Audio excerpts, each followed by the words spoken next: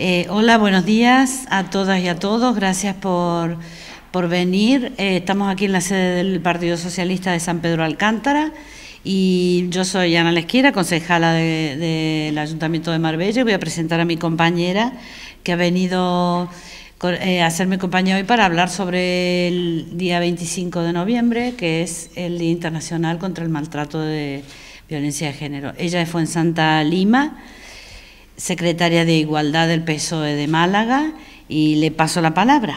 Bueno, pues muchas gracias, Ana, y sobre todo muchísimas gracias a vosotros por estar cubriendo esta rueda de prensa, porque si hay algo importante para trabajar en materia de violencia de género es que los medios seáis también eh, impulsores de, mandar este mensaje a los ciudadanos y ciudadanas. Veréis, eh, yo acabo de llegar ahora mismo de dar la rueda de prensa a nivel provincial y empezaba diciendo, hoy el próximo domingo 25 de noviembre conmemoramos el Día Internacional contra la Violencia de Género. Todos los años sacamos un resumen, que hay mucho por hacer, pero este año hay todavía más, hay mucho por hacer y además mucho por reconquistar, porque después de, un año de gobierno del Partido Popular, ahora os voy a dar algunos datos, eh, ha habido grandes recortes sociales, pero sobre todo muchísimos recortes en materia de igualdad, en materia de, prevención de la violencia de género. Y lo voy a explicar detenidamente. Primero me vaya a permitir que contextualice en qué momento nos encontramos. Empezamos con la reforma laboral. Mira, la EPA daba unos datos que era que se sumaban nuevos parados y paradas eran 85.000. La mayoría de esas personas que se han sumado a esa triste lista por desempleo son mujeres. Y lo podemos constatar a nivel nacional, lo podemos constatar también a nivel provincial en cada uno de nuestros municipios y seguro que en San Pedro así será.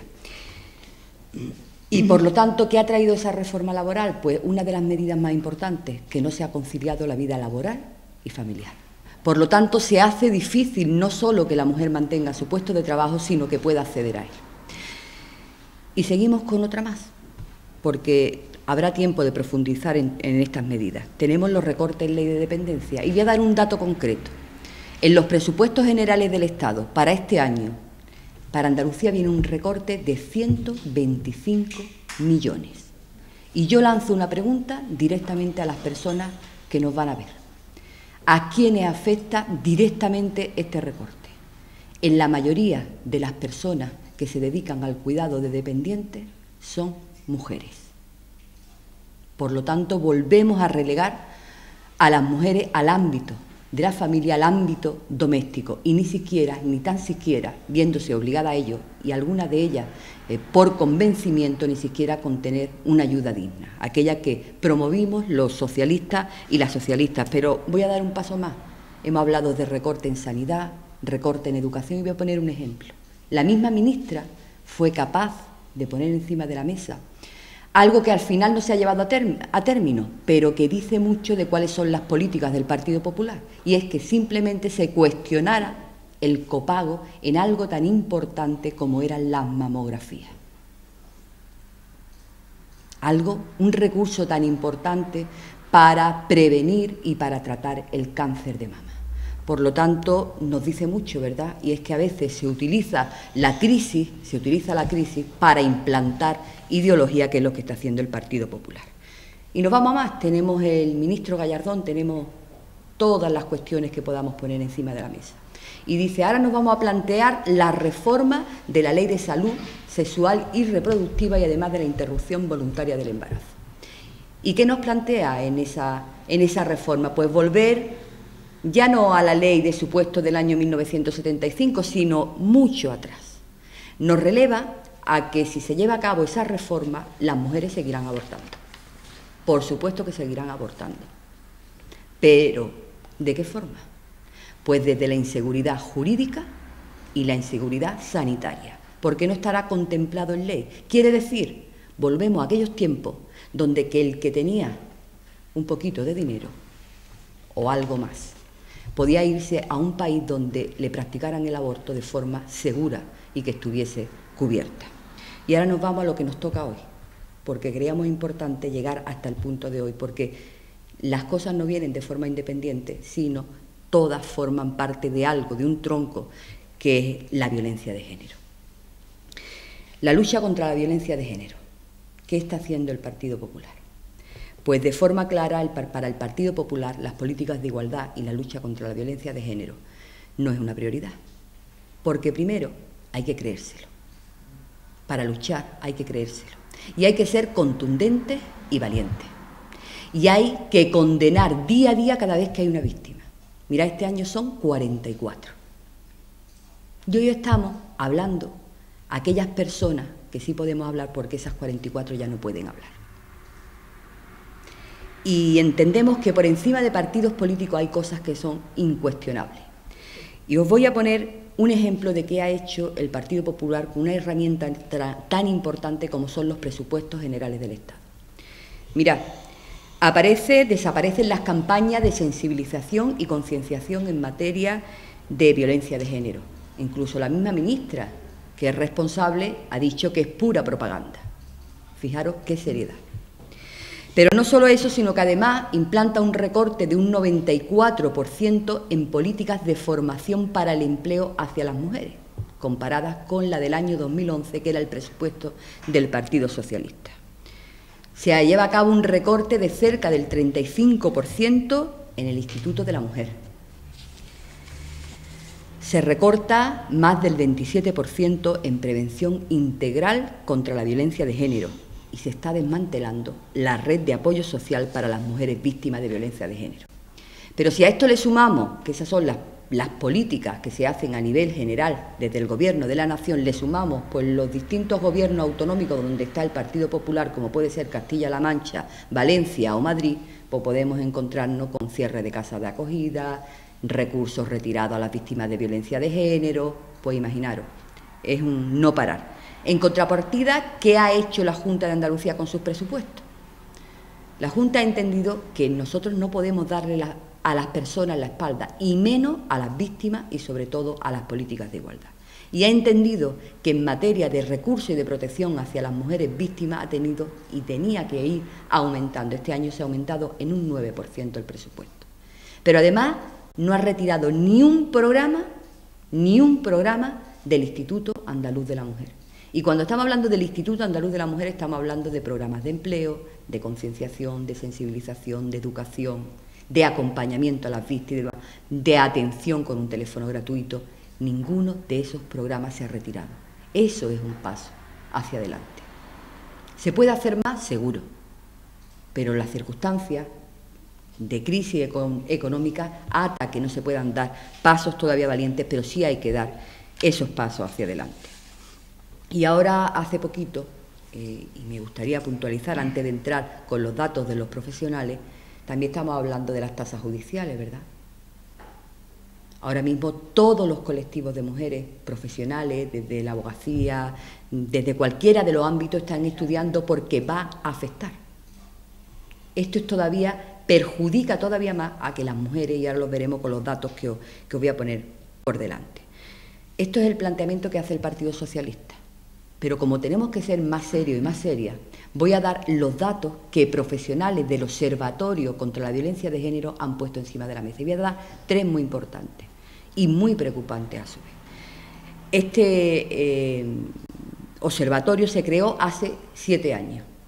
Justo en este año 2012 se cumplen esos siete años y se ha hecho un estudio. Y dicen los profesionales, primero, que ha habido un aumento de un 23% desde el año 2007 en jóvenes menores que son acusados por delito y falta, entre 14 y 17 años. El dato es tremendo. Por lo tanto, no solo nos tenemos que quedar en el dato, ¿qué nos dicen los profesionales y las profesionales? Que tenemos que hacer especial incidencia en materia educativa. Pero toda la comunidad educativa, alumnado, profesorado, padre y madre. Y eso son eh, recomendaciones que, que, nos hacen los profesionales y que sabemos aquellos que llevamos y aquellas que llevamos mucho tiempo trabajando en materia de igualdad y violencia de género. Pero hay otro dato más. Desde el 2007, ahora mismo ha aumentado la renuncia por parte de las mismas víctimas en seguir con el procedimiento en un 29%.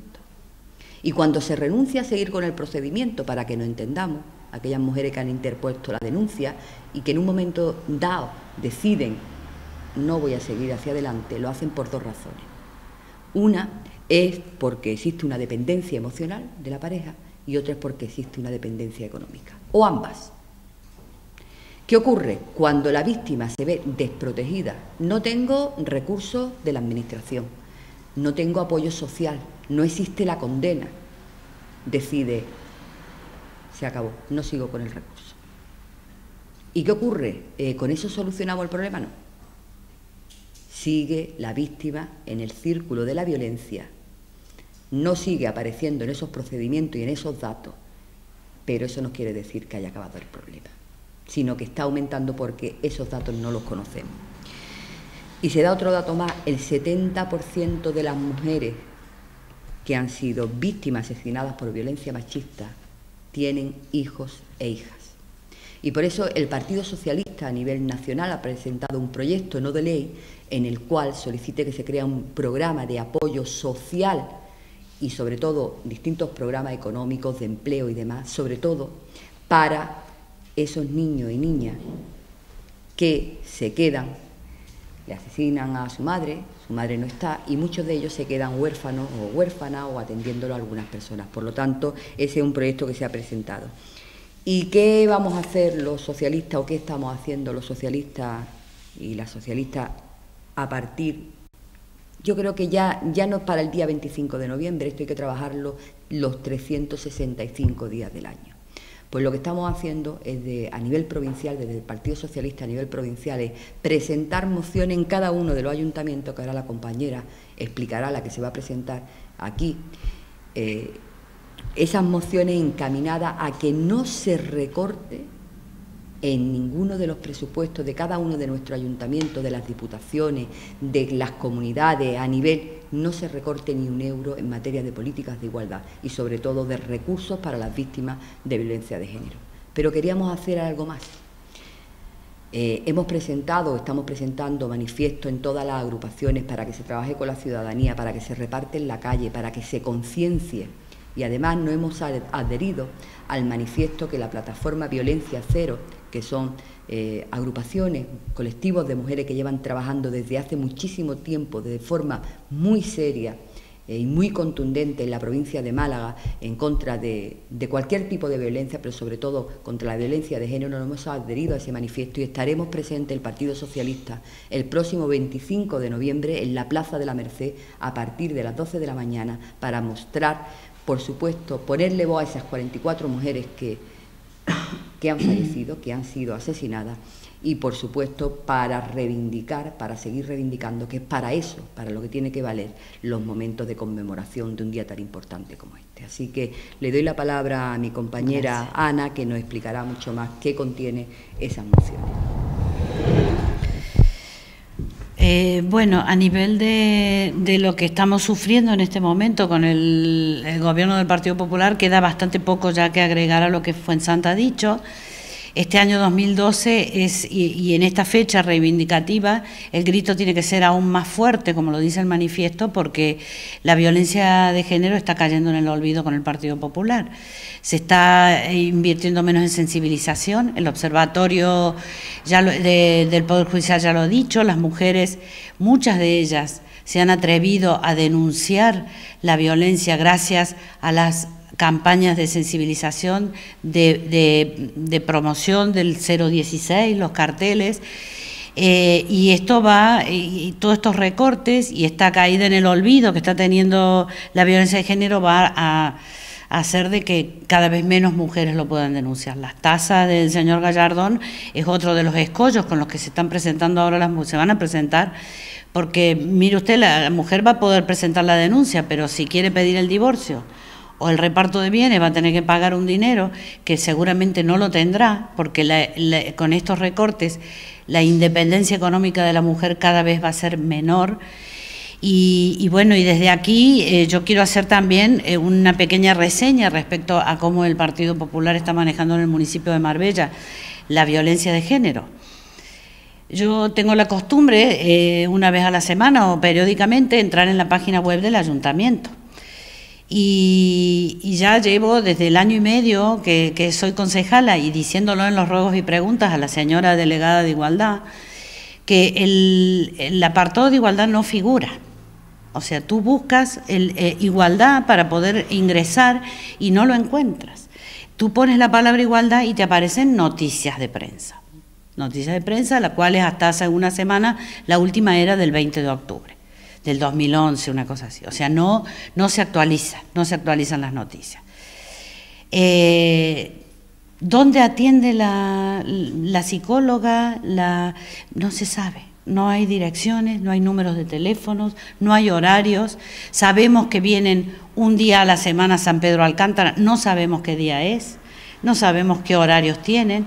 O sea que eh, yo tengo la posibilidad de hablar con ellas y preguntárselo, pero una persona de la calle, una mujer trabajadora que un día dice, eh, con, el, con el susto en el cuerpo, voy a intentar comunicarme con la delegación de igualdad, no lo puede hacer o sea, o tendría que hacerlo eh, llegando eh, a través de, una centralita, no sé de qué manera se puede llegar. Ese es, un, ese es un fallo que yo se lo he marcado ya muchas veces y está sin corregir, lo he comprobado hace dos o tres días.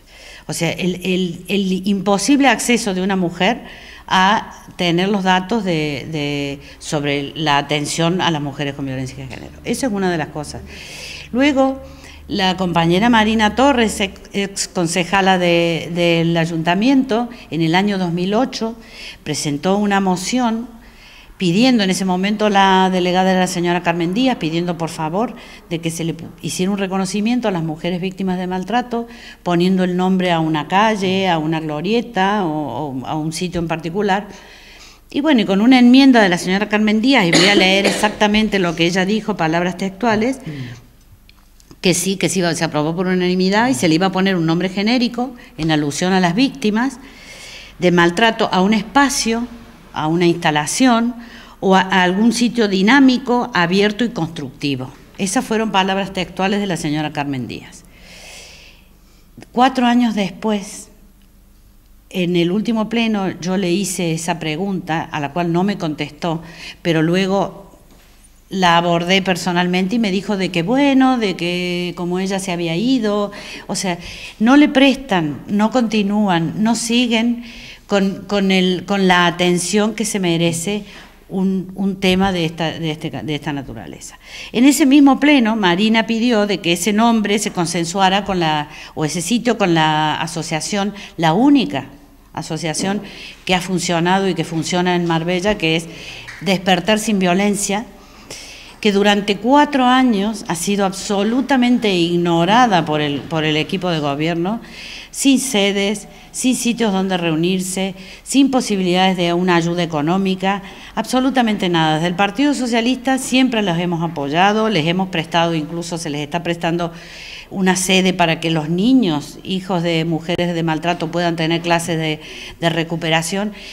Y bueno, y se ha visto un pequeñito de esperanza ayer que ya el, equipo de gobierno le ha dado una pequeña participación y espero que esto sea, que se les abran las puertas a esta gente porque ha luchado esta mujer, sobre todo su presidenta Carmen Sánchez, ha luchado muchísimo y, bueno, se merece realmente que se le dé un sitio. Bien, entonces, eh, nosotros por eso desde el Partido Socialista...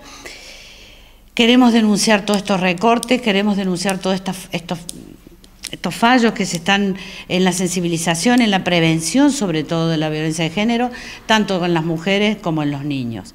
A nosotros y a mí en particular nos corresponde luchar desde nuestro ayuntamiento y para ello estamos haciendo todo lo posible. Por eso, eh, bueno, pedimos por favor la sensibilización de, de todos para que nos acompañen en esta lucha a a ver si logramos, como decíamos ayer en el manifiesto, que esto no tengamos que nunca más reivindicarlo los 25 de noviembre.